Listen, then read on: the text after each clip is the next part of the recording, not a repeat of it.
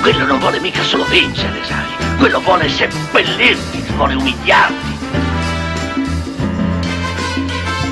Ne ho paura! Sei contenta? Ma volevi la verità? Mi vuoi umiliare? E!